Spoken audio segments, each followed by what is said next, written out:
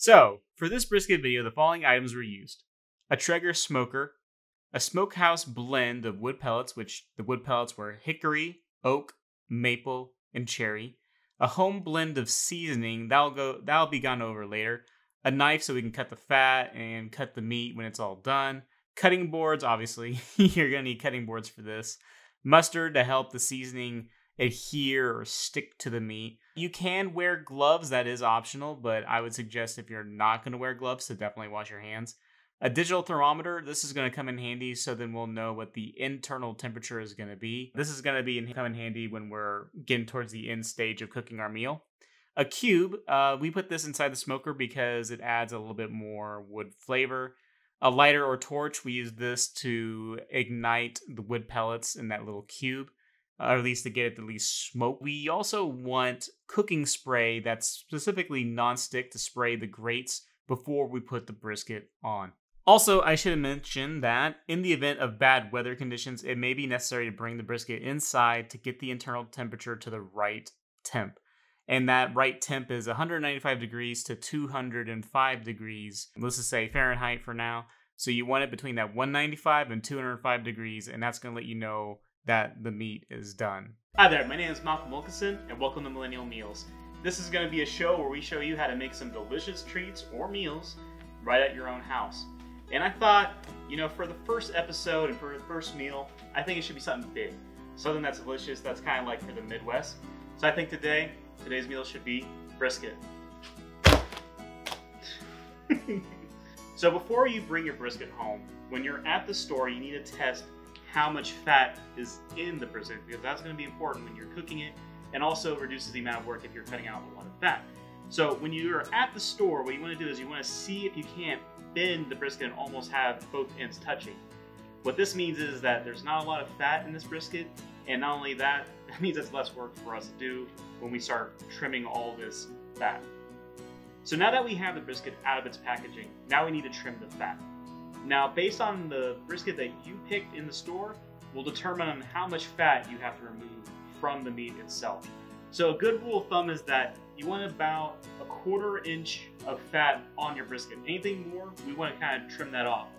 And sometimes the brisket that you get at the store might be a little bit different, but again, the whole idea here is, is that we want to try and remove all this fat.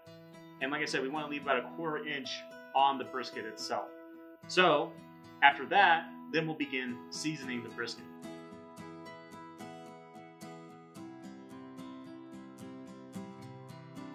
Alright, so now that we have the brisket trimmed, now we're to be able to put our seasoning or flavor or whatever thing you want to put on there. So, first thing that we usually put on is mustard, at least for our brisket, because the reason why is it kind of helps the um, helps hold the seasoning a little bit better into the brisket and not only that, it's good flavor. So make sure like whatever thing you want to put on here, or at least in this case the mustard that you put it on there nice and thick. Then if you're using gloves you can. I personally am using gloves today. Kind of spread it over your brisket. So you kind of got it nice and even because think of this as like the thing that's going to hold that seasoning or whatever thing you're going to use into your brisket.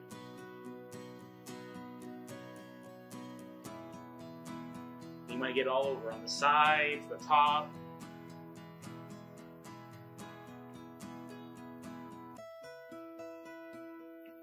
Okay, even the bottom. So keep in mind when it comes to seasoning your brisket, you don't have to necessarily put any type of seasoning. A lot of times, smoking the brisket will already give it a fantastic flavor. But in some cases, for people like me, I like to add a little bit of seasoning to my thing.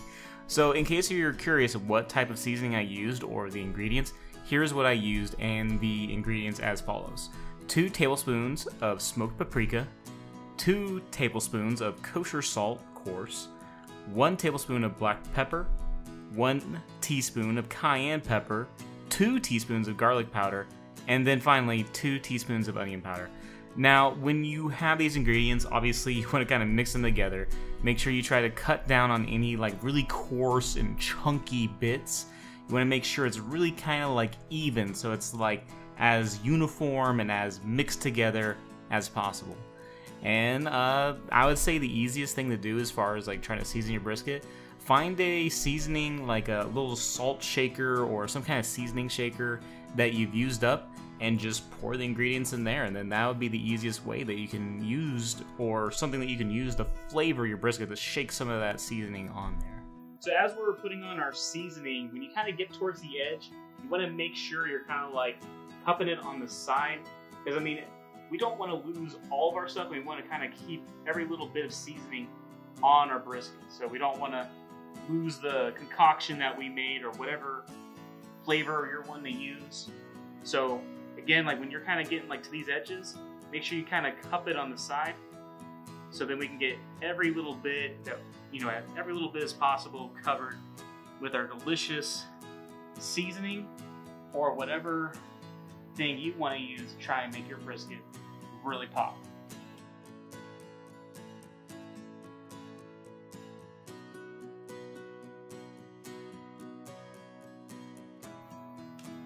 So after when you're done seasoning the fat side, I should mention that the fat side is what's going to be down when we throw this thing in the smoker. So then basically on the fat side, we're going to do the same exact thing. We're going to season it as evenly as we can. When we get to those edges, just make sure we have our hand kind of covering that side, and we just start seasoning. And I should mention that sometimes it's easier to do it when you have a when you have an assistant, but today I'm going to be the lone ranger making this brisket by myself.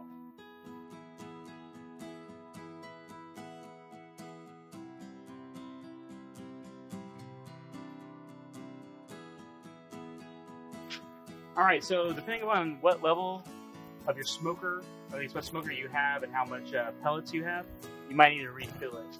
This one's kind of pretty much full, but I'm just going to top it off because, you know, why not? You have the ability to do it, let's do it right now. So on this Traeger, what we want to do is when I set about 225, and then we we want to wait until the Traeger is 225 for. Alright, so one of the things that we use in the Traeger is called the cube. And with that, you kind of fill it with wood pellets from top to bottom. And one thing that we usually do to make it a little bit easier to light, we'll put a paper towel inside the top, douse it with a little bit of olive oil, and then light it up. And usually what we're trying to do here is we're trying to get it nice and smoking without us having to maintain the fire.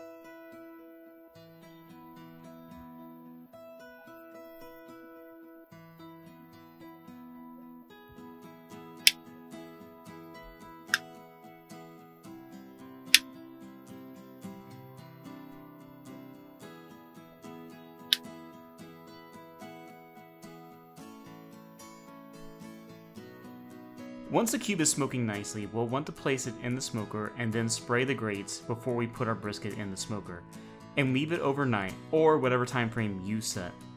The main thing we're wanting is the smoker temp to be 225 degrees Fahrenheit. You'll have to resupply your smoker with more wood pellets as needed. Once it gets closer to being done, we'll want to put in our meat probe or digital thermometer to see what the internal temperature is. The temp range that we're gunning for is between 195 degrees and 205 degrees. Now, when the meat probe hits the temp range that we want, it'll be time to pull the brisket off the smoker. While it's doable to take the large brisket off the grill by yourself, it may be wiser to get some help with it. Alright, so now that we have our brisket here, we hit our nice golden temperature of 203 degrees on the inside. Now, at this point in the game, what we want to do is we want to let the brisket just sit here and rest because we want the juices to kind of like seep back into the brisket. But we're going to wait about an hour, an hour and a half, and after that, we're going to cut into this delicious little, just this delicious meal. But trust me, the wait is going to be totally worth it. It's going to taste great. It's going to be awesome. One hour later. When you start cutting, be sure to start at the flat end of the brisket, which is usually the smaller side of the brisket, the one that's a little bit lower and not as wide on the brisket. So when cutting, you want to cut against the grain of the meat as you slice off the portions you want.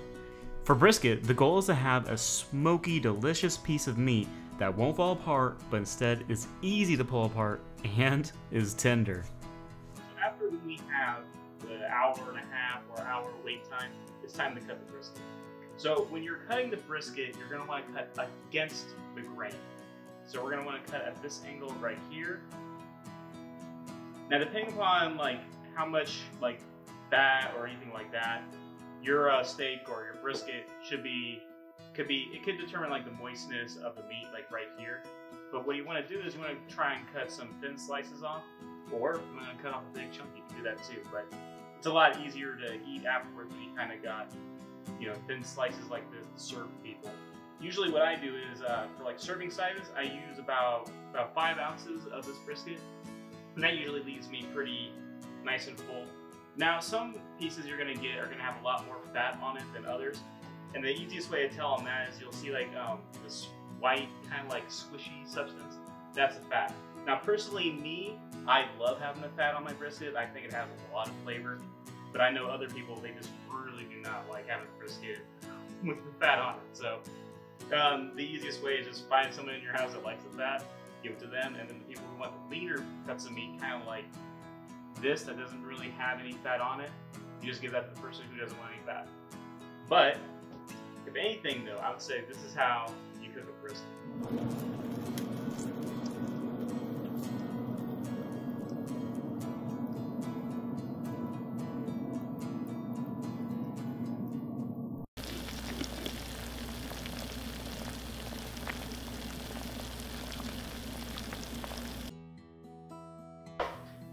Name is Malcolm Wilkinson, and welcome to Millennial Meals.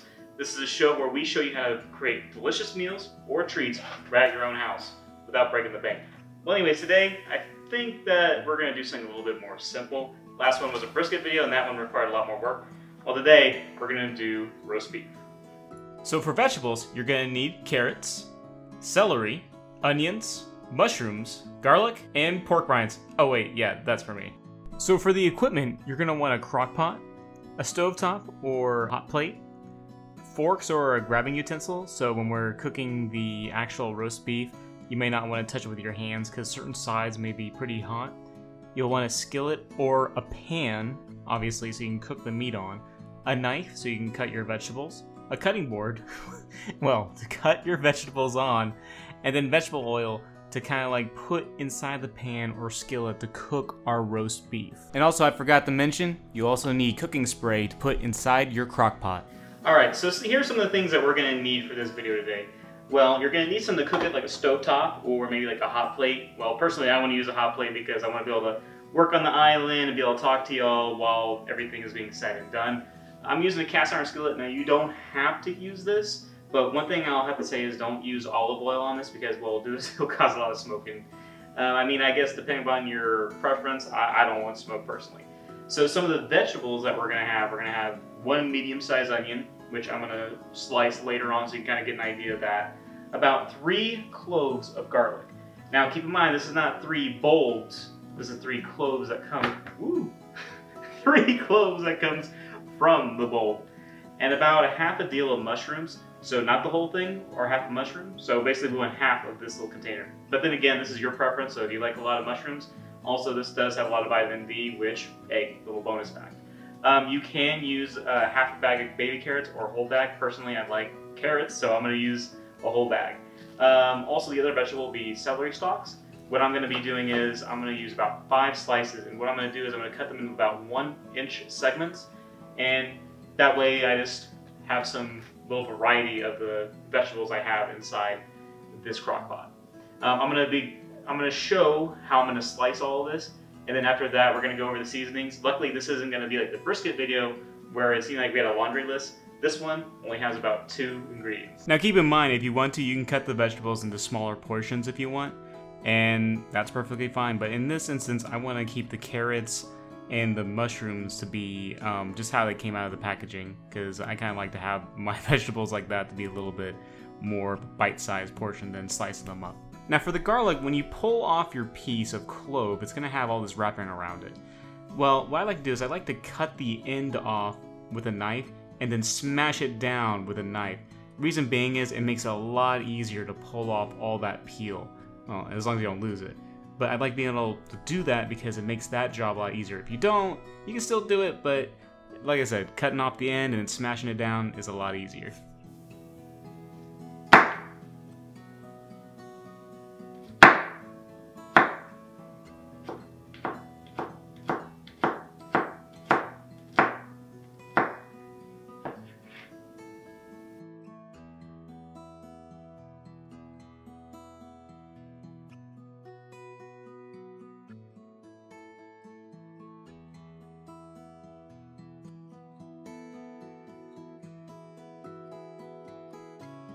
Now for seasonings, we're gonna have four ingredients. So we're gonna have one tablespoon of onion powder and two teaspoons of garlic powder. And the next two is just a little sprinkling of salt and pepper. This is gonna be done when we're cooking the sides of the roast beef. So you're gonna sprinkle this kind of like, I guess to your preference, but kind of sparingly. Now, as a bonus ingredient, if you want to, you can use an onion recipe soup and dip mix one pack and you can use it from this brand shown here. Well, either now we're at the stage where we want to cook our roast beef. Well, what we're going to basically be doing is we're going to be browning all four sides, or I should say all the sides of this nice, lovely little roast beef. Now, depending on the roast beef you have, you might need to trim off the fat, but this one's pretty good, so we don't have to really worry about that so much. Now, with this, we want to make sure we put a little bit of vegetable oil on here to brown this. Now, when you first start, you want to put the fat side down. So, we start, and we want to get it to where all sides are brown. Once everything is brown, then what we're going to do is we're going to put it inside our crock pot to cook this lovely little roast beef. What I should mention is while you're cooking, you want to put a little bit of salt and pepper on you know, all the sides. So while it's cooking, so like the side that's being cooked, you don't have to worry about that right now. But we want to hit all the sides with the roast, with this little salt and pepper. Now you don't have to, you can use whatever mix you want, but in this specific scenario, I am only going to use salt and pepper. Um, the seasoning though, what we created earlier, that's going to be for at the end, which is going to be when we have it in the crock pot itself.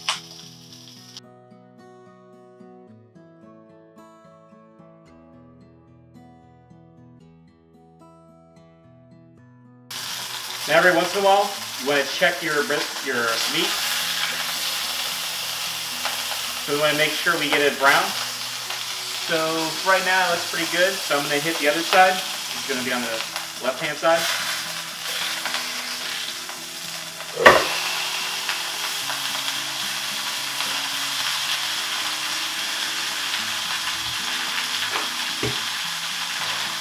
If you do have a little bit of spillage, make sure you just clean it up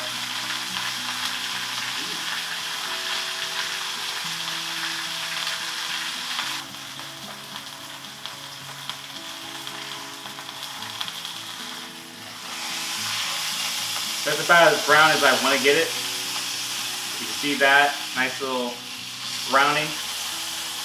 Now I'm going to cook this bottom part.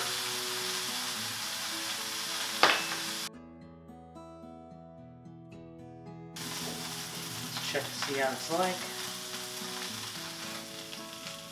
Yeah, it looks pretty good. You can see, I kind of like that. Alright, so now remember that fat side that we had earlier? It's time to hit that with a little bit of seasoning.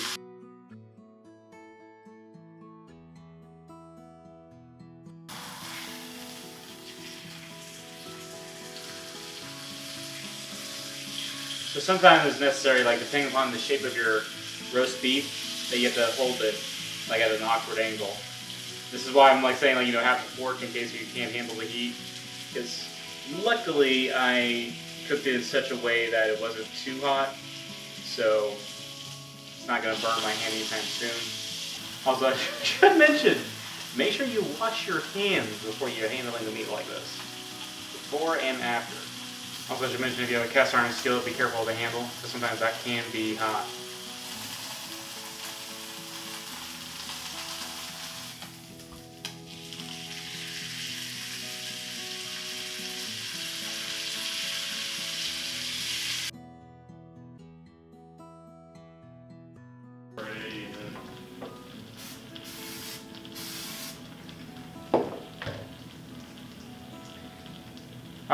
That the roast beef has been cooked on all four sides, what we want to do is we want to throw it inside our crock pot. And then next we're going to be throwing in all of our seasonings. So, a little seasoning of onion powder and garlic powder that we made earlier. Well, it's coming into play right now. So make sure you kind of like spread it a little evenly around your roast beef. So then that way you get a little bit more of that flavor in the food that you are about to eat in four to five hours.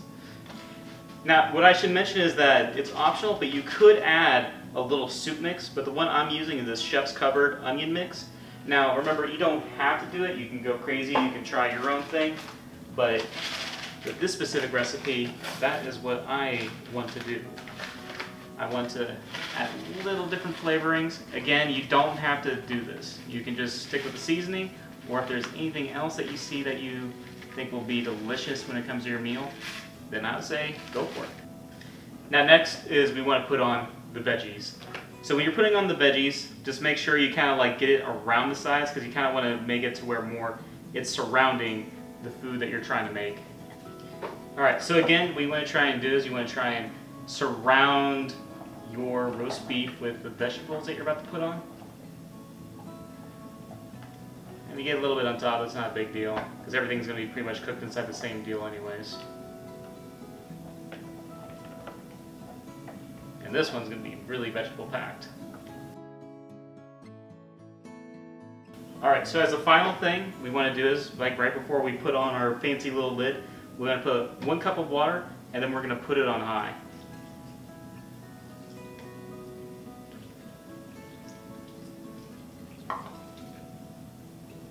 Okay, one cup.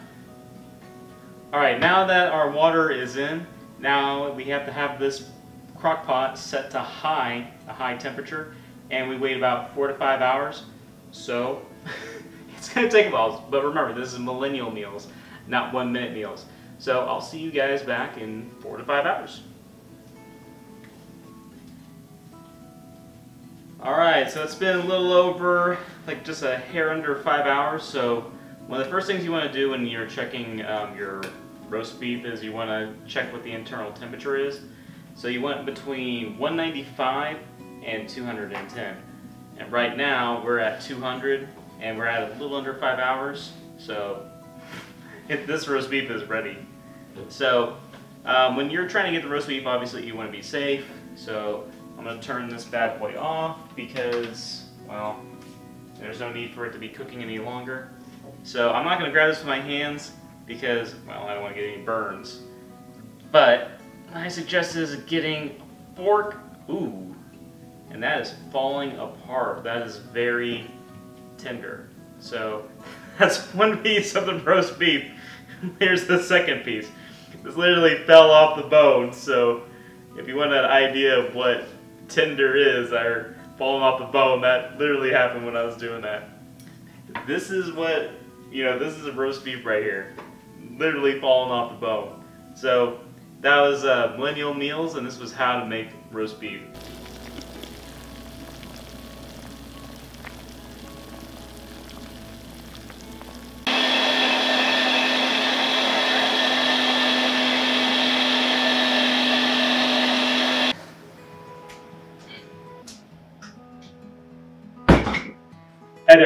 This is going to be a special episode of Millennial Meals. This will be an unboxing video of Meat Your Maker meat grinder, a 500 watt meat grinder. We're gonna unbox it, show its contents, and grind some meat.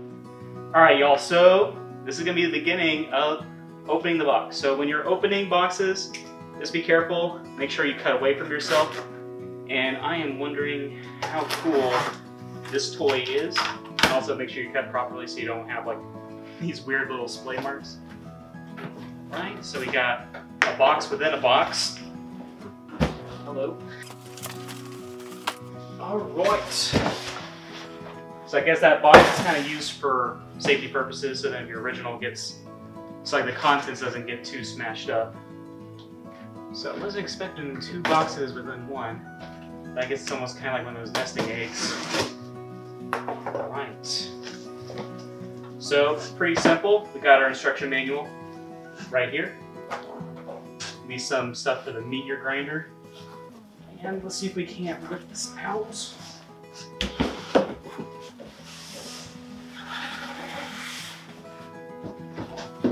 And I should say, make sure you have a lot of surface area, because obviously this one picks up a little bit. All right.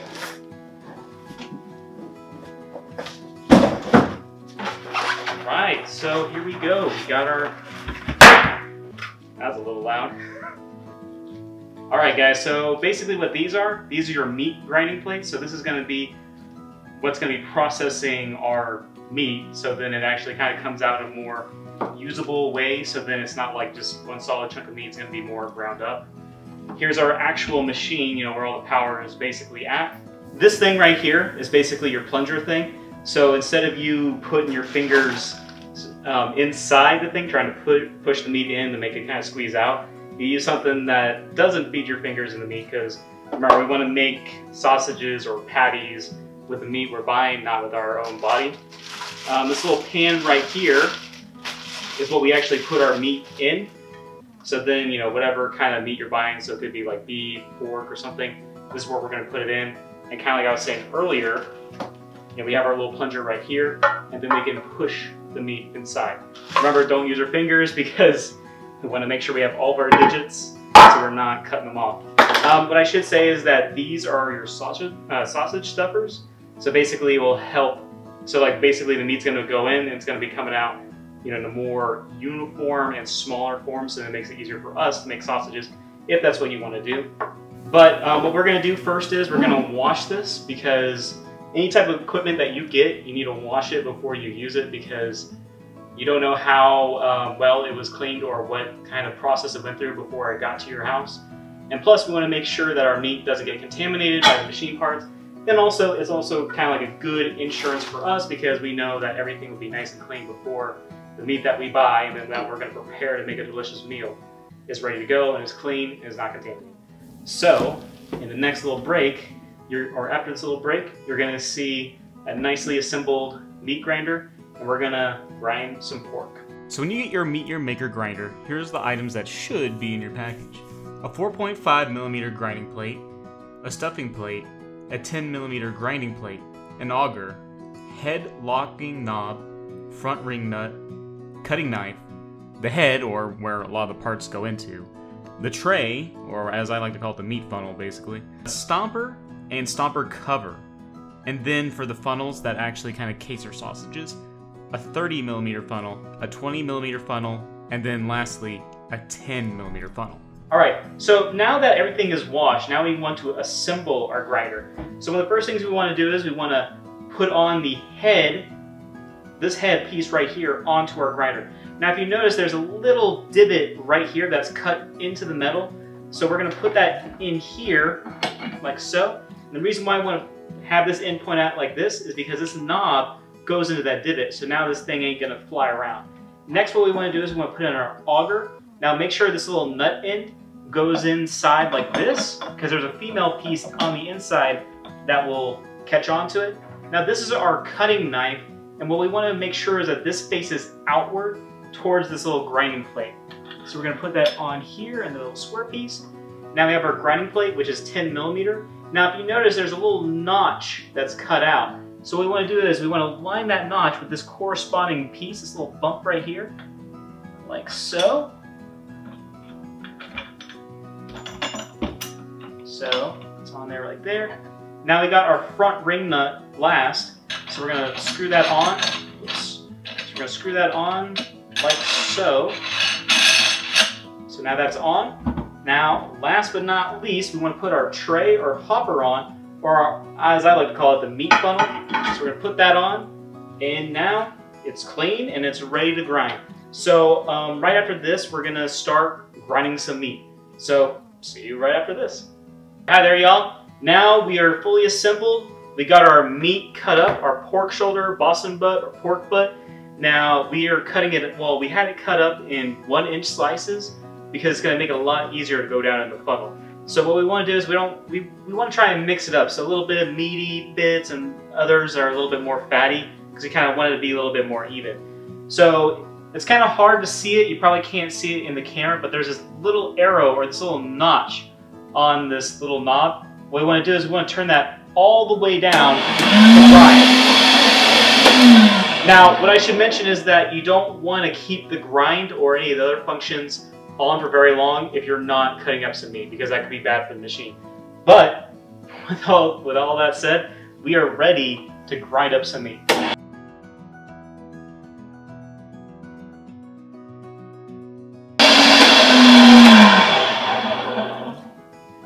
All right, so what we have just ground up is about five pounds of pork shoulder, and we got a lot more to go. But to give you an idea, this is, you know, you saw what those little pieces looked like, and now this is what they look like after all ground up.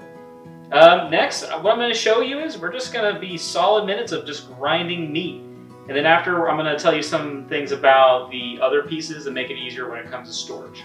Other than that, that'll be up right next.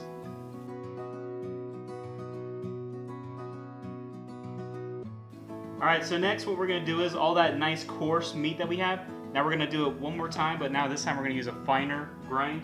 So this one's going to be a lot more tighter. So now we're to start grinding.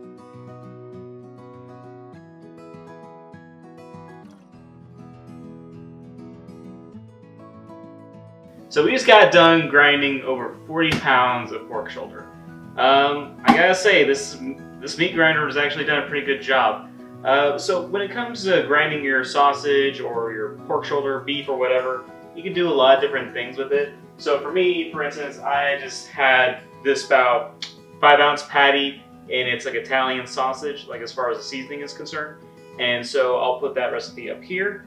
So then you can get an idea of like if you want to try it. So uh, what I should say is it's a two pound recipe for the seasoning.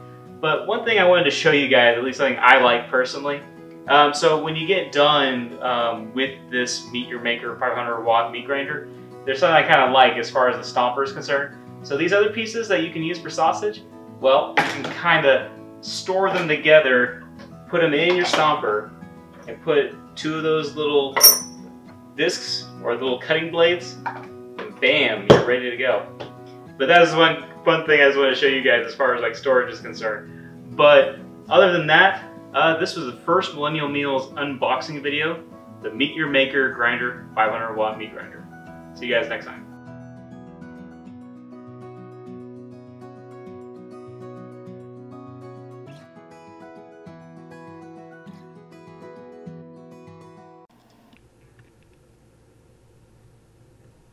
Hi there guys, my name is Malcolm Wilkinson and welcome to Millennial Meals.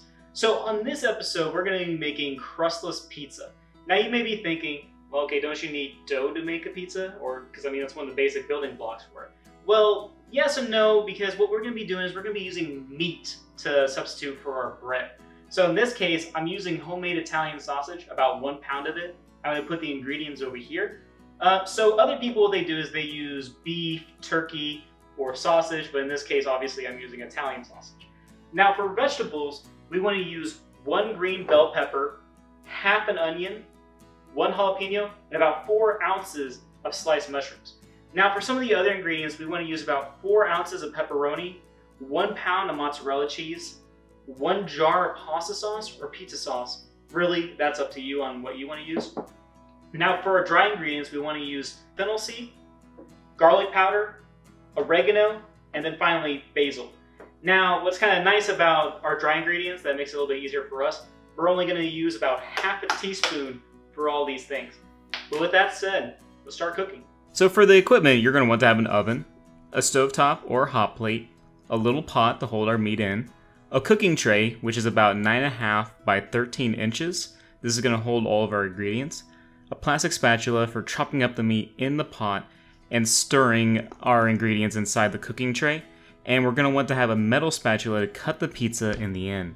You're also going to want to have a knife and a cutting board so we can cut up our vegetable ingredients. We want a measuring spoon, like a teaspoon or half a teaspoon, We're to use this for our dry ingredients. You're to want to have oven mitts because we're to be using that to take our pizza out. And also it's kind of handy too if you have a couple of oven mitts or some kind of heat resistant material to put on the surface. You're to want cooking spray. This is to be used when we're like before we throw all of our ingredients in the cooking tray. And then finally, you're to want to have some kind of like paper towel or plate to hold all the ingredients as you're doing all the work that you're doing on the side.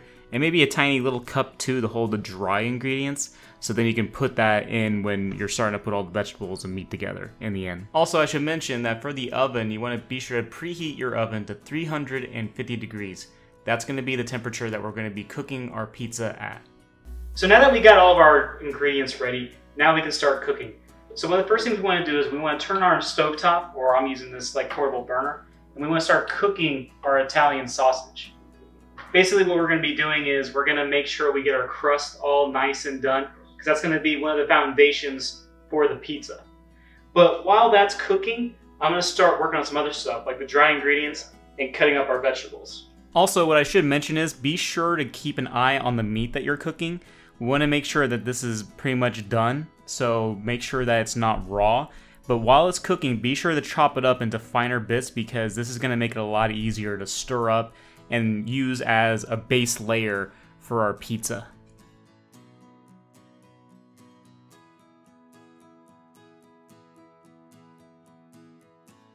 Now that our Italian sausage is done, now we're going to put it in our pan. Now, in some cases, what you're going to want to do is, depending upon what type of meat you, you have, you'll see like a whole bunch of fat at the bottom. It's going to look kind of liquidy. Well, in that case, we want to drain that. We don't want to put that in our pan. But surprisingly, this Italian sausage didn't have that much fat. But with that said, we can finally start making our pizza. So what we're want to do is we want to try and spread our pizza crust or our Italian sausage as evenly as possible. We can, we want to also try and mash up some of these bits that kind of got a little too big. So with that, because again, we want to try and not make sure we don't have like, you know, one side that has this, you know, all this meat, but like nothing. Because remember, this is going to be basically the crust to our pizza. So we want to try and spread the love as much as possible.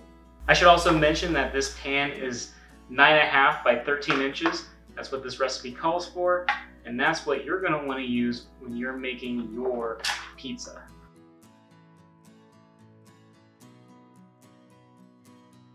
So now that we got the crust kind of as even as we can, considering that's not really dough, now it's time to use the pizza sauce and then all the other all the other ingredients. There we go. So as I said stated before, we're going to use one jar of pasta sauce, and this is about 24 ounces. Now remember, you can also use pizza sauce. But what we're going to do is we're going to pour our lovely pizza sauce or pasta sauce all up in this pan. Next, we're going to put a little bit of our dry ingredients in here too.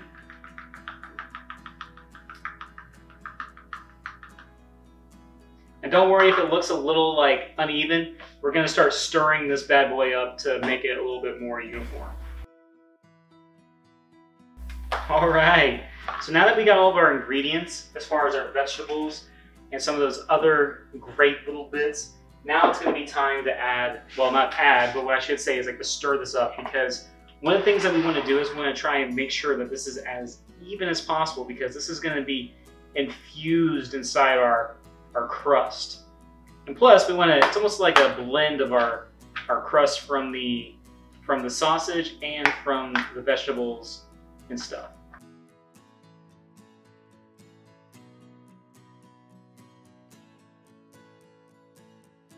All right, so now that we got our crust pretty much made, now we're gonna throw it into our oven. Now remember, we had this set to 350 degrees earlier. Now what we're to do is we're to put it inside the oven for about 40 minutes.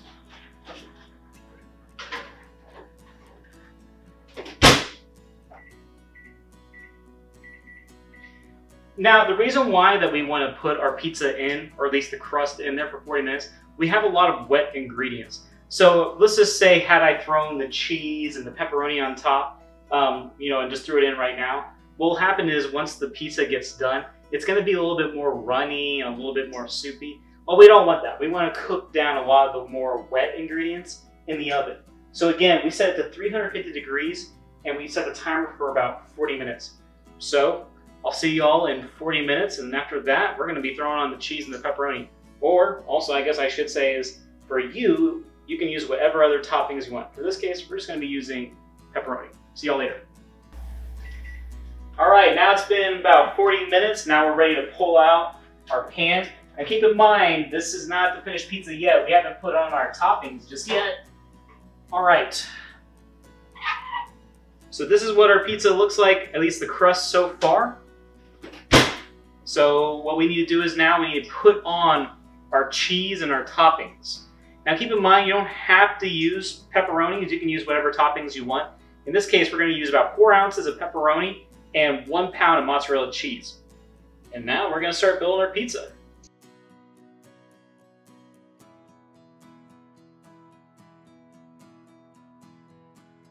All right, so now that we got our ingredients on, now we're gonna put this inside the oven for about 30 minutes. Now keep in mind that you can cook this to 20 to 30 minutes, but this is gonna be based on what you personally like. So for us, we like it for 30 minutes, but what I'm gonna do is I'm gonna pull out 20 to show you how the cheese and how the pizza looks after 20 minutes. All right, 20 minutes have just passed. Now we're gonna see how the cheese looks after or how our pizza looks after 20 minutes. So this is how the pizza looks after 20 minutes. Now, if this is what you like, feel free to stop here, let this sit for five minutes, cut a slice, and then throw it on your plate. But for us here at this house, we like it to cook it a little bit more. So what I'm gonna do is I'm gonna throw this delicious, deliciously smelling pizza back in the oven for about 10 more minutes. After 10 more minutes, It'll be time to slice and eat. All right, I'll see y'all after 10 minutes. All right, so now 10 minutes have passed and now we're ready for our pizza. Whew. That is a little hot. And I wish you guys could smell this. Wish there's a way that there was like a smell-o-vision or something like that. Because this is what we got right here. This is our crustless pizza. I mean, like I said, I wish you guys could smell. Like the smell is just amazing. But yeah, so this was Millennial Meals. This was Crustless Pizza. I'll see you guys next time.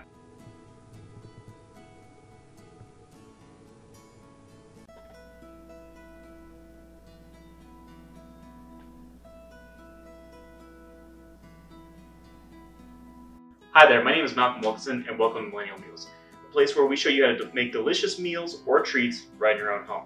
Well, in this video, I was thinking of doing something a little bit different. So all the previous ones has been basically always meat oriented.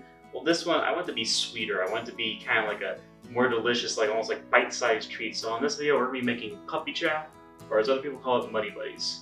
So let's do that now. All right, so for ingredients, we're gonna want to have powdered sugar, Chex cereal, dark chocolate chips, vanilla extract, creamy peanut butter, and butter, or you can use margarine. Now, kind of rewinding back to the ingredients, I'm going to talk about the Chex cereal and some of these other things for a minute.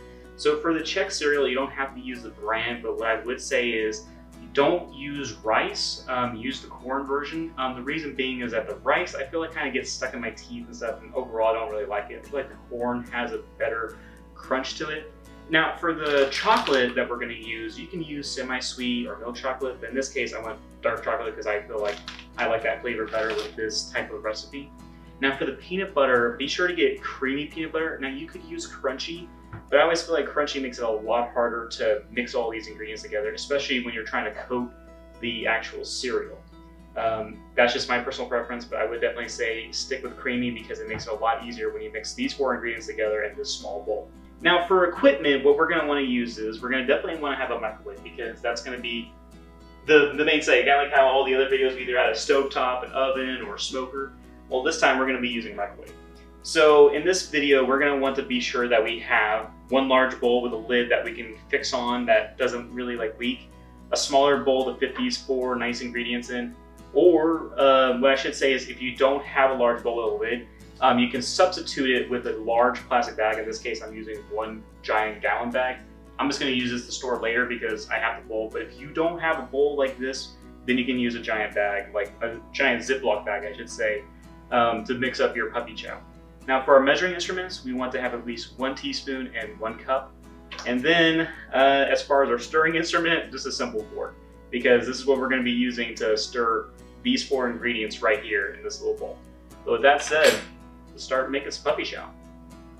So here are the ingredients in detail for the puppy chow.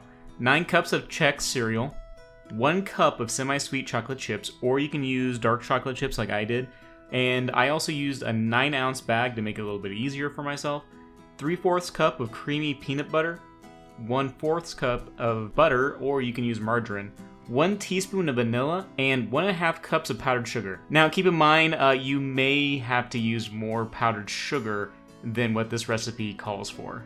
So once you measured out your Chex cereal, you're going to want to put that into a large bowl and set that aside. Then with your other ingredients, you want to grab the smaller bowl and put in your chocolate chips, peanut butter, and butter. Then what you'll do is you'll put that in the microwave and cook it for about one minute. Take it out, then stir that mixture up. Then if it's still kind of chunky, then put it back in for another 30 seconds. If not, then you can put in your vanilla, then stir that again until that's nice and smooth. All right, so now that we got our peanut butter and our chocolatey mix all nice and just look how like smooth that is, now what we're gonna do is we're gonna pour this over our cereal um, because again, like I was saying in the beginning, this is basically gonna be the glue that's gonna hook our powdered sugar onto the cereal.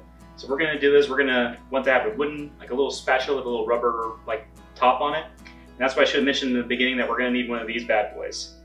So now we begin pouring. Now make sure when you're doing this, make sure you try to get it as even as possible because we, you know, the more, like when each, I should say is with, with each cereal, like the more chocolate that's on it, the more that, of that powdered sugar can actually sit there and just mix with our cereal, just hold that sugar there. So be sure when you're doing this, like sometimes you might need a, another hand, but you want to make sure, again, I keep saying make sure, but I mean, it goes without saying that you want this to be as even as possible. So then each little bit has all that nice combination of chocolate, peanut butter, butter, and powdered sugar.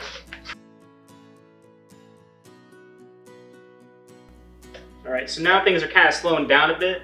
So what we're gonna wanna do is use our, wooden, our little spatula with a little rubber top, and we're gonna want to basically get that extra chocolate, because remember, this ain't gonna help us with our recipe or our puppy chow if it's just sitting here not doing anything.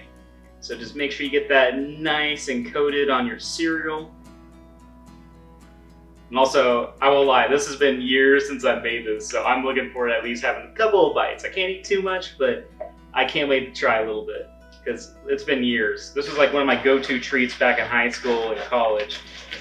And now I get to share with you one of my favorite desserts. And right now, this cereal is like, it's just coated right now. There's a little stragglers here and there, but overall, it's just coated, and I can't wait until all that powdered sugar starts to get on it. So at this stage, when you pour all your chocolate into your mix, uh, be sure you try to stir it up because if you see any pieces that kind of look like, you see, that kind of look like this, well, I mean, uh, when this go, like when we add the powdered sugar, yeah, a little bit of the powdered sugar is gonna get on it, but not a lot. We want it to kind of look like some of these pieces, like maybe like, hold on. Kind of like this. We want this piece to look more like these pieces. So when you're at this stage, just make sure that everything gets nice and coated because again, this is gonna be the glue that's gonna hold our powdered sugar. And plus, why not have every little bit taste just as good as the last bite or the first bite? Okay, that looks good. Now we're pretty much at the final stage as far as adding ingredients.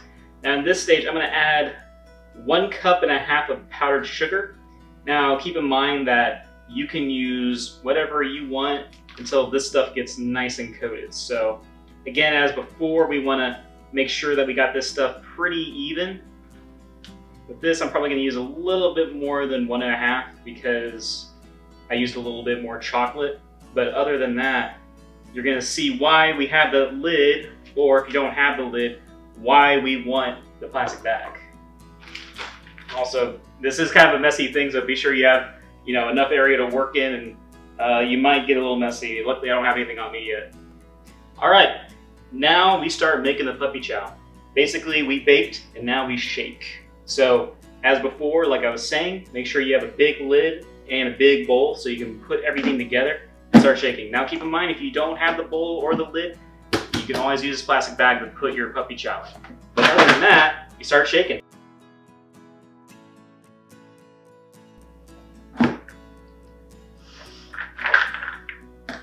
Now, like I was saying earlier, remember when I was saying that you might want to use more powdered sugar? Well, I think this needs a little bit more powdered sugar. One and, one and a half cups just ain't gonna do it. So, remember, this is up to you. This is what you want to leave it at. Trust me, this is gonna taste pretty dang good.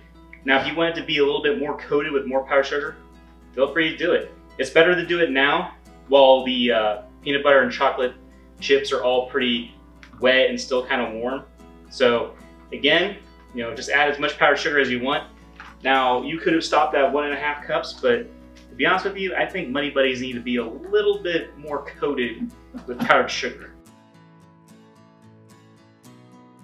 All right, we're starting to get there, but I think it needs a little bit more. I know it's, it's gonna be like a thing, it's like, it needs more powdered sugar. Because we're starting to get there, like it's starting to get nice and coated. So I guess at this point, you know, probably like three cups of powdered sugar, at least for the batch that I made right here. So we just begin again. All right, so this is what puppy chow should look like, at least how I always made it. Nice and coated. Um, I should say that's probably, that's definitely not one and a half cups of sugar. Um, that's probably about three and a half cups of sugar.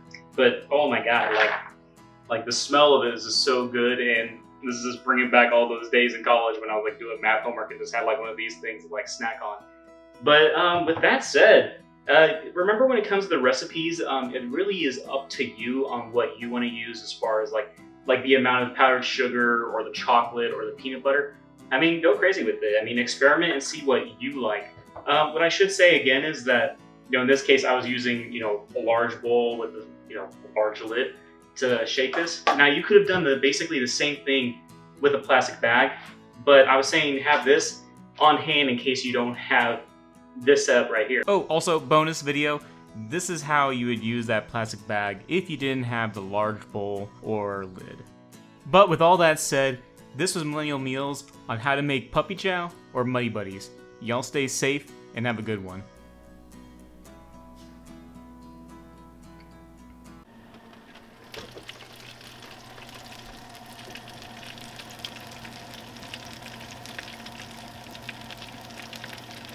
Hi there, my name is Malcolm Wilkinson and welcome to Millennial Meals, a place where we show you how to make delicious meals or treats in your own home. So in the last episode, we done puppy chow, something a little sweet. Well this time, I was thinking about something a little bit more spicy. So on this episode, we're gonna be making bacon wrapped jalapeno poppers. Let's start baking. For equipment, you'll need a bowl to mix our cream cheese and cheddar cheese in, a knife to cut our jalapenos, a cutting board, toothpicks to hold the jalapenos and the bacon together, a measuring cup, a spoon to mix our cheddar cheese and cream cheese, and to scoop out some of the jalapenos guts or some of the like the innards, a pan to cook our jalapenos on, parchment paper or aluminum foil, rubber mats or pot holders, you don't want to touch a hot surface or hot metal, and then finally scissors, so then we can cut the parchment paper or aluminum foil. So for ingredients, you're gonna want to have jalapenos, room temperature cream cheese, cheddar cheese, and finally bacon. Now keep in mind, you don't have to use bacon when it comes to what you want to put in your jalapenos. Some people put hamburger, some people put chicken. But in this case, I'm going to use bacon because I think it's going to look pretty when it's all wrapped around these jalapenos. And also I should mention is as a bonus, I'm going to put a little bit of smoked brisket in some of these jalapenos because I'm to be combining two things I love, bacon and smoked brisket. But before that's all said, like before I start doing all this, I'm going to preheat my oven to 400 degrees and while that's heating up, I'm gonna start prepping out all this stuff. And we're gonna start baking. So one of the first things you want to do is stir the cream cheese and cheddar cheese together until the cheddar is evenly distributed in the cream cheese. For the jalapenos, we'll cut them in half and then scoop out the innards or the guts of the jalapenos with a spoon. You can leave out more pepper seeds or the insides depending upon what your preference is. Keep in mind the more pepper seeds you put in there, or leave in there I should say, the spicier it's going to be. So this is going to be one of those things, what's your heat tolerance going to be, and then go on from there. If you want, you can cut up other pieces of meat or other ingredients to put inside your jalapenos. Once all of our ingredients are ready, we'll grab half a jalapeno slice and fill it with our cheesy mix. Keep in mind, if you make them too full, it may be harder to put your other meats or ingredients in the jalapeno. Once our half pepper is filled, we'll grab another half slice to make it whole. The jalapeno will be then wrapped with our bacon slice, and then we'll put a toothpick through the bacon and the pepper to add that final touch. Once our peppers are wrapped, we'll cook them in the oven for 15 minutes at about 400 degrees Fahrenheit. Now keep in mind too, you don't have to basically do what I did here where I made a whole jalapeno filled with cheese and then wrapped it with bacon. You could just do half slices and then wrap each half slice of pepper with your cheesy mix and bacon. So this is a preference thing, but on this run, I wanted to make a whole pepper filled with cheese and meat and then wrapping it up with bacon. Again, this is your preference. You either can do half slices with bacon wrapped around it, or a whole pepper pod and have bacon around it, or whatever other thing you want to do. All right, now that we got our jalapeno poppers all nice and wrapped up, we're now gonna throw this inside the oven for about 15 minutes.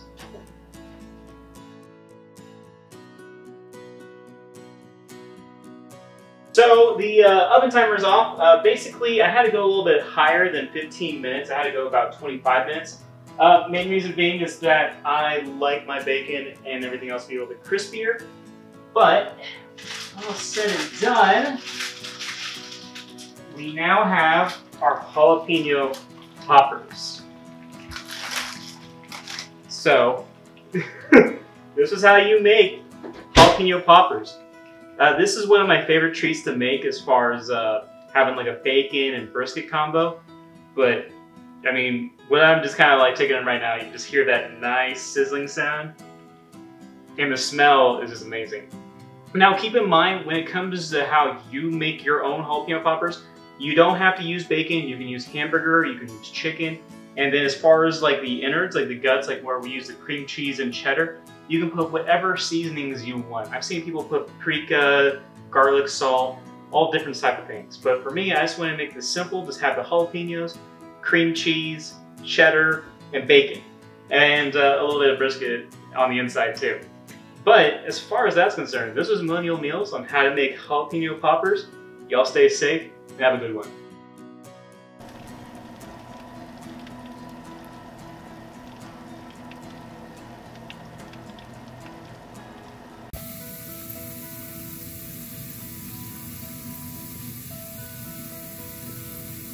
Hi there, y'all. My name is Malcolm Wilkinson, and welcome to Millennial Meals, a place where we show you how to make delicious meals or treats right in your own home. So for this episode, I was kind of like in the mood for a movie, and well, what goes good with a movie? Well, popcorn. Well, I didn't want to use microwavable popcorn or stuff you buy in a bag. Oh no, I gotta pop it myself. So in this episode, we're gonna show you how to pop your own popcorn and give it that taste as if you got it from the movie theater. So let's start popping.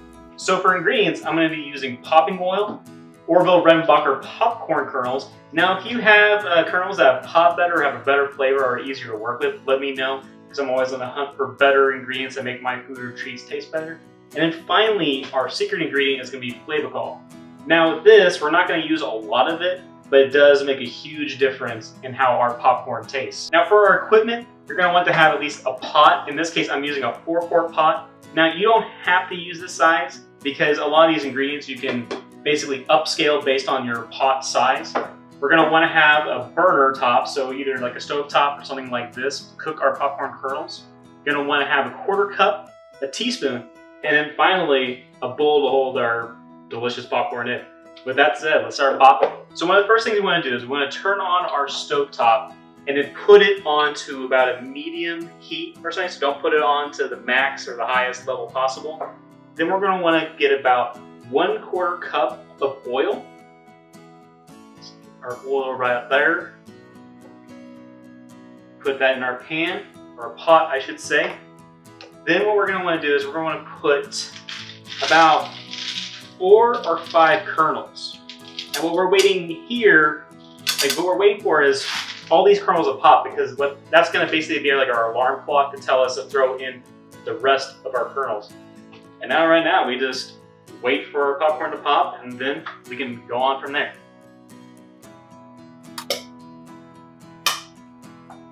All right, now that we have the kernels that we had in there pop, that means we're ready to add in the rest of the kernels that we need.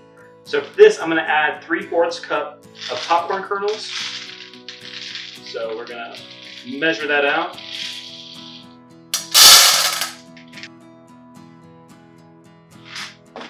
Then next what we're gonna do is we're gonna add one teaspoon of Flavacol. And then what I'm gonna do is I'm gonna try and kind of get a little evenly spread out into our pan, or pot I should say. Then I'm gonna shake it around so then that so then that salt kind of gets in there so it's not just one location. Okay. And I think we're ready. Woo. Do not touch hot surfaces. Now that we have our popcorn sizzling away, we'll want to have a lid on our pot because popcorn will fly out. With the lid on, periodically shake your pot to make sure the pop pieces don't get burnt. If the pot gets too full, you'll need to dump out some of your popcorn into your bowl to make room for other unpopped kernels. Once it sounds like your popcorn isn't popping as much as it did earlier, it'll then be time to dump the rest of your popcorn into your bowl and to enjoy. All right, well, it looks like our popcorn is finally done. And from the looks of it, it has that nice color that we want, and it should have that delicious flavor. But with that said, I'm gonna start dumping this into my bowl. All right, we got that. So keep in mind when you're making your popcorn, there may be some unpopped kernels. So even if you like have like a, this pot filled with kernels, every once in a while you're gonna have one that's gonna maybe have like quite a few kernels that are unpopped. That happens. Not every kernel is gonna pop, but some kind of come out semi-popped, and those are what we call the old maids. So, like this one right here, I would say that's an old maid, and these are good.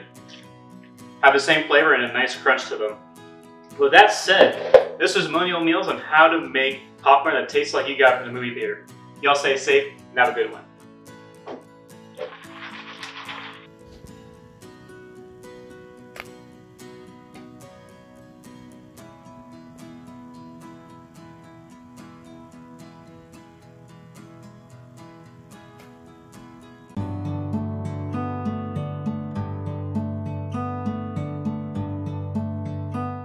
Hi there, my name is Malcolm Wilkinson, and welcome to Millennial Meals, a place where we show you how to make delicious meals or treats right in your own home. So in the previous episodes, we've done an unboxing, or maybe like brisket. Well, in this one, I wanted to do something different. I wanted to do a drink, more specifically, a mixed drink, because everyone has a long day, or they just want to experience a different flavor during the week.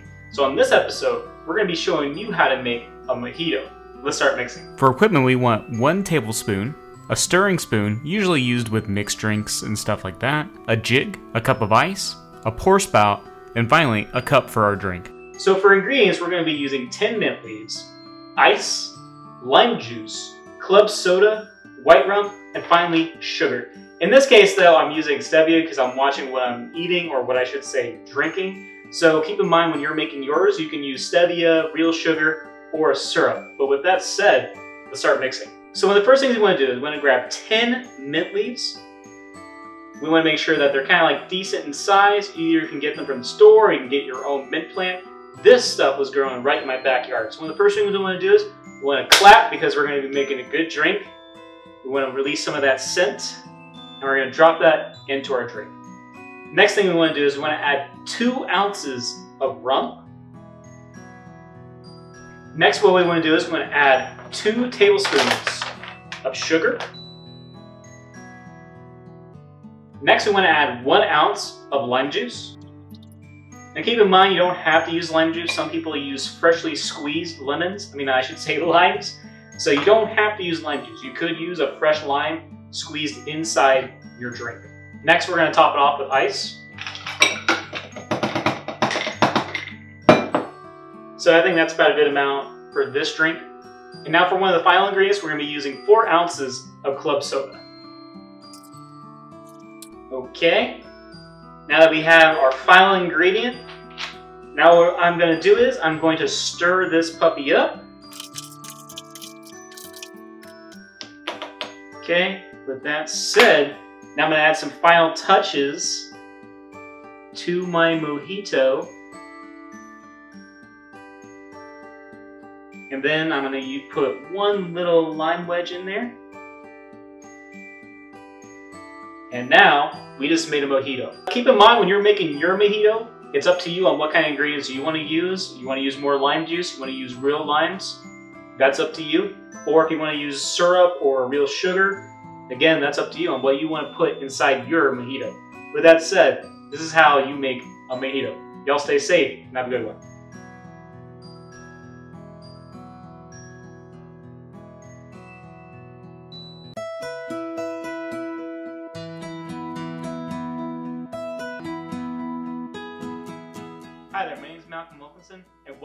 Millennial Meals, a place where we show you how to make delicious meals and treats right in own home.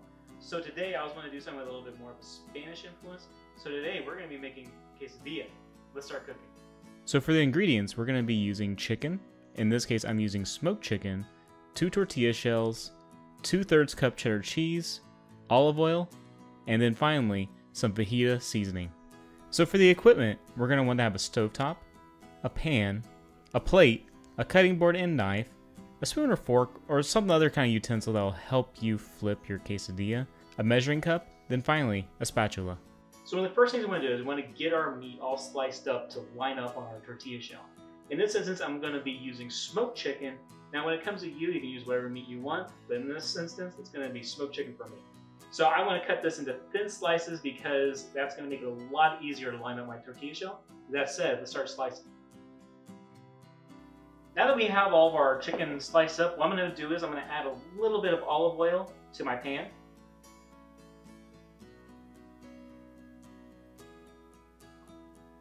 Next, I'm going to take one of my tortilla shells. I'm going to put that in the pan. I'm going to rub that in a little bit. Because what I want to do is it's going to make it a little bit easier to make my tortilla shell crispy. Because I do like my uh, I do like my quesadillas pretty crispy. And we got that in there. I'm going to add a little bit of my fajita seasoning. Not too much. Next what I'm to do is I'm to add one third cup of my cheddar cheese. I'm to sprinkle that kind of evenly on my quesadilla because this is going to act like our glue for our chicken and the shell. So do that, mix that around a little bit. Okay, I'm gonna add a little bit more seasoning because I do like this seasoning a lot. It's up to you on what seasoning you want, but in this case, I'm gonna be using fajita seasoning. Next what we wanna do is we wanna add our chicken to our quesadilla. So the focus here, you wanna make sure that you're getting your quesadilla shell, or at least I should say, these tortilla shells pretty evenly mixed with your chicken to kind of like have it spread out because what we don't want to have is we don't want to have a spot to where there's like this huge bald spot like right here then there's like a pack of just like just filled with chicken so we want to kind of make it even that's why I was like saying having our slices or our pieces a little bit smaller so in that way it makes it a lot easier for us to kind of distribute our chicken somewhat evenly throughout our quesadilla shell. Now that we have our chicken added, we're going to add another third cup of cheddar cheese. Like I was saying earlier, we want to have our cheddar cheese somewhat evenly spread out. Because again, this is going to be our glue that's going to hold our chicken and our quesadilla shell together. Or I should say our tortilla shells together. Right. Next what I'm going to do is I'm going to add some more fajita seasoning. Because I really do like this stuff. And plus, I love it when it's infused into the cheese. Okay, looks like that's good. Now with our other tortilla shell, I'm gonna put that on top. I'm gonna put a little bit of olive oil on that.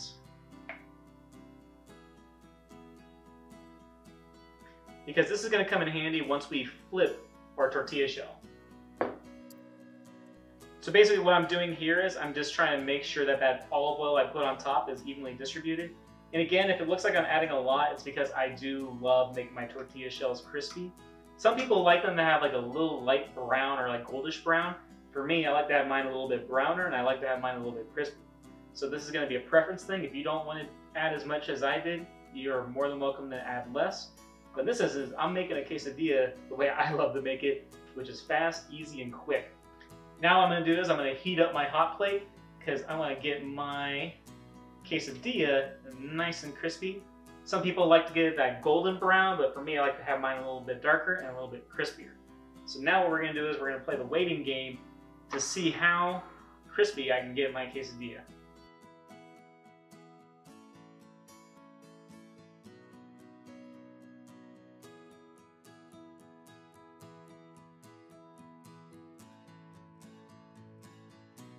So while your quesadilla is cooking, every once in a while you want to probably check under to see how the shell looks. So in this case I'm going to use a little bit of a spoon and a spatula to check on the underside to see how brown it's getting. So right now it's not really at the point where I want it at, so we got to play a little waiting game. But every once in a while make sure you check the shell to see if it's at that level that you want it to be before you flip it to the other side. Alright, so I think my quesadilla is ready to flip.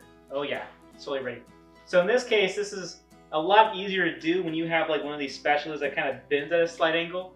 So I'm going to do is I'm going to have, I'm going to set one side like this. So I'm going to have it, you can look, make it kind of, kind of give you an idea because this kind of gives you a little bit of a leverage.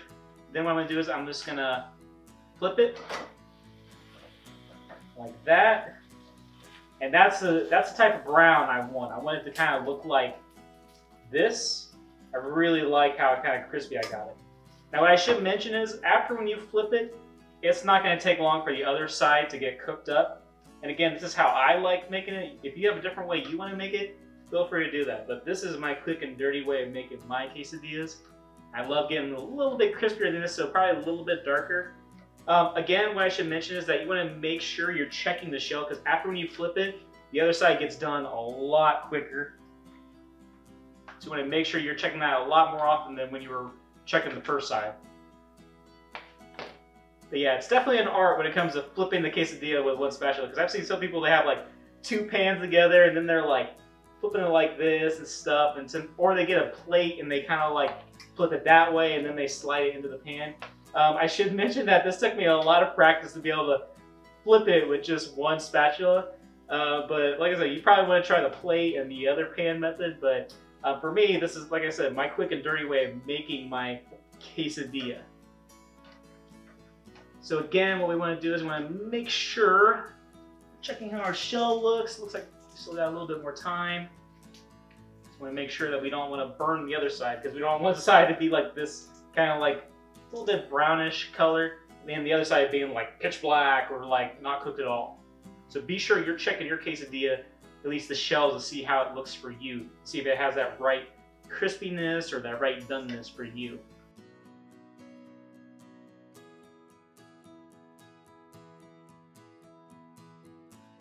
Okay, so personally I think the quesadilla is to the doneness that I want. So once it comes to when you're looking at your quesadilla when you want to get it off the pan, you can you know get it off the way that you want, but I usually First thing I do is I check to see if it's the right color. I like the way it looks. Again, I guess because how I, I was able to like flip it earlier. You can put it in your plate for easy delivery, and then you can take it to your cutting board. And then what we can do is we can start slicing our quesadilla. The way that I make this, it can serve about maybe two or three people. And then what we do is we just want to cut our quesadilla. So I'm going to cut this into about four pieces. So once your quesadilla is done, when it has that nice coloration that you want, you want to split it off onto a cutting board, then cut it to however many slices you want. In this case, I wish I got mine a little bit browner than this, but other than that, this is how you make a quick and dirty quesadilla. Y'all stay safe and have a good one.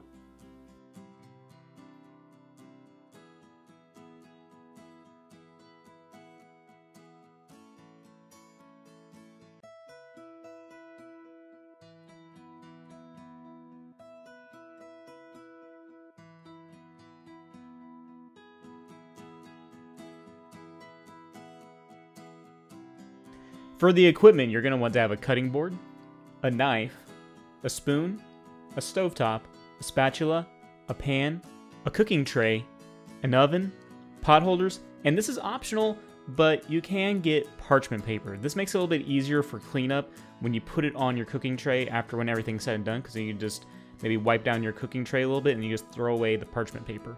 But that is the equipment that you'll need to make these stuffed bell peppers.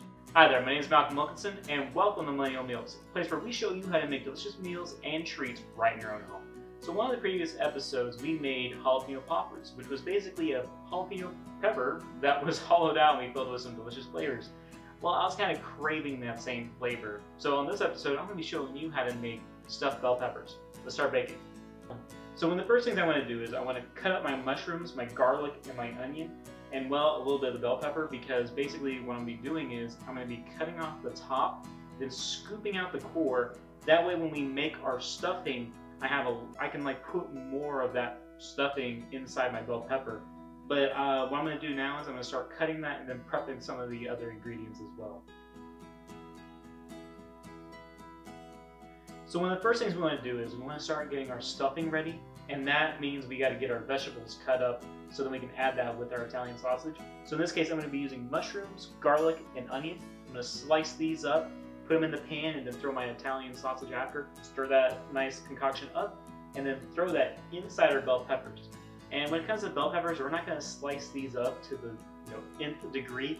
Basically, I'm just going to cut off the top and then scoop out the core, and then put the stuffing inside, put some cheese, and bake it. Um, with that said, I'm going to start slicing.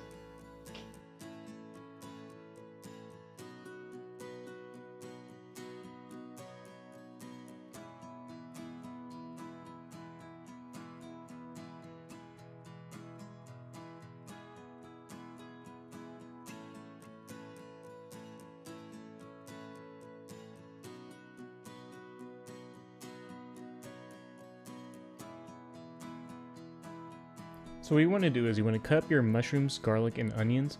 Get your garlic and your onions together, put your stovetop to medium heat, and throw your garlic and onions into the pan.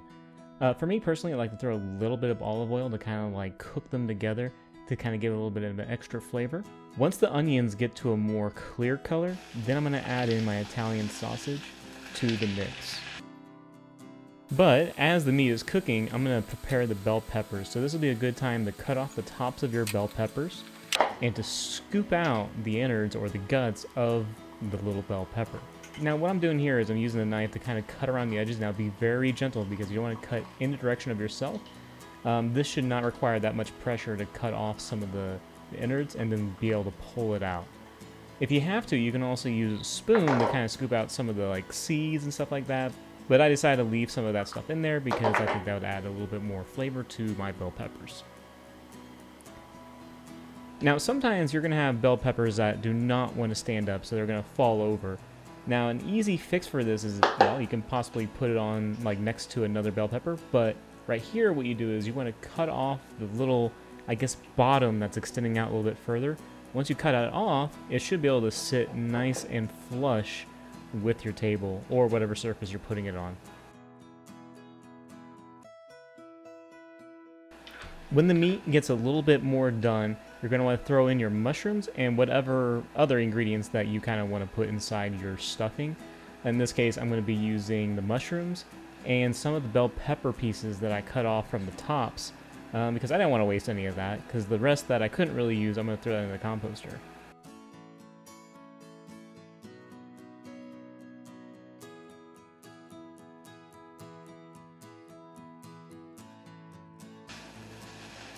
Alright, now that my Italian sausage, or at least my stuffing is done, now what I'm going to do is I'm going to stuff this into, or stuff this into my bell peppers. But I'm going to actually use a spoon for that because it's going to be a little bit harder to try and be accurate with the spatula.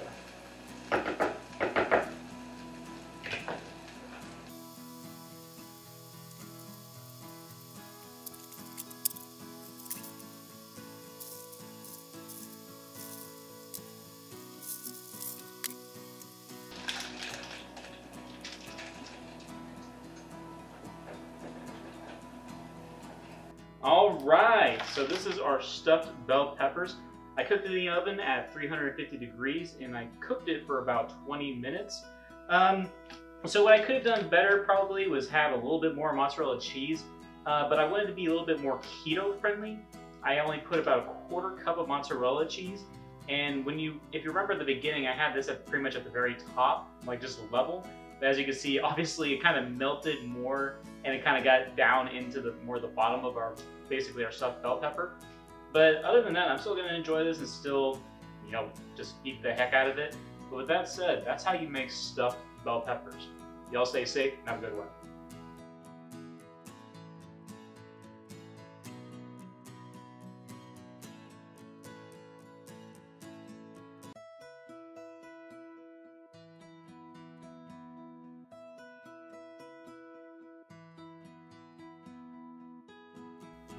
Hi there, my name is Malcolm Wilkinson, and welcome to Millennial Meals, a place where we show you how to make delicious meals and treats right in your own home. So I was kind of craving something a little bit more crunchy. Now I didn't want to get potato chips or something a little less healthy for me, so I want to go with something a little bit more organic. So on this episode, I'm going to be showing you how to make pumpkin seeds. Let's get baking. So here's some of the things you're going to need to carve up your pumpkin. You're going to need some plate or bowls to hold the seed and guts, a pan. Now this is optional, but you can get parchment paper. It makes it a lot easier for cleanup after when you bake the seeds. A spatula, a carving knife, a scooper or spoon, and an oven. So the first thing we're gonna do is we're gonna cut a hole in the top of the pumpkin. So then I'll like pull this off like a cap or a lid, then use my scooper to get the seeds and the guts out. Then what I'm gonna do is I'm gonna separate them out, seeds in one plate and guts in the other. Because basically what I'm gonna be doing is the guts is gonna be put in my composter because that's gonna be turned into compost so I can feed my pepper plants later. And then my seeds, which I'm gonna season and bake in the oven so then I have my crunchy snack. With that said, I'm gonna start carving my pumpkin.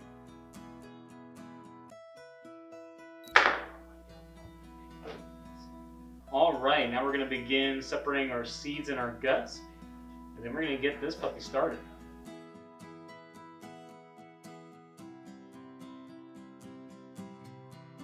All right, so it looks like I got all the seeds, or at least 99% of them, out of my pumpkin. Uh, now I can at least start baking. But I guess one thing I wanted to say is the reason why I used my hand initially was because when the seeds are entangled in the pumpkin guts, it's a lot easier to filter those seeds like into my hand and then get the guts out, so then I can basically throw my seeds in the plate. Uh, with that said, I'm going to use my scooper. I'm going to get all the pumpkin guts out now.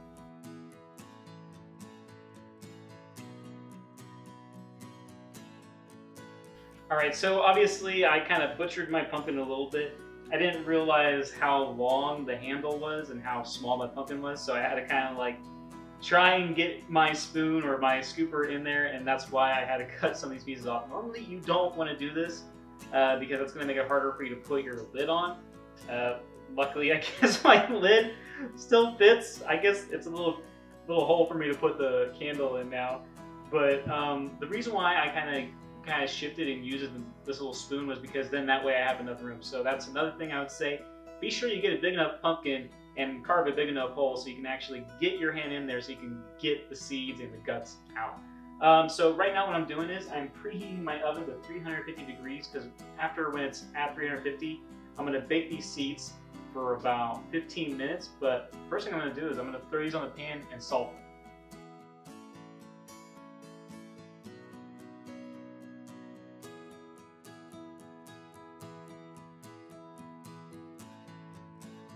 So once you put your pumpkin seeds inside the oven and start cooking them, every 5 minutes you're to want to pull out the seeds and shift them around to get them more evenly baked so that one side doesn't get baked more than the other. The goal is to get them to a light brown color. All right, our pumpkin seeds are done. So I cooked that in the oven at 350 degrees and I cooked it for about 20 minutes. And then after when I looked at it, I was like, ah, it needs a little bit more. So I put in another five minutes. So basically 25 minutes. Uh, another thing is the reason why I left the guts on them and I didn't like wash them is because those pumpkin guts add a lot of flavor to these pumpkin seeds. Also, as far as seasoning, I just use sea salt uh, because one of my favorite snacks is pretzels.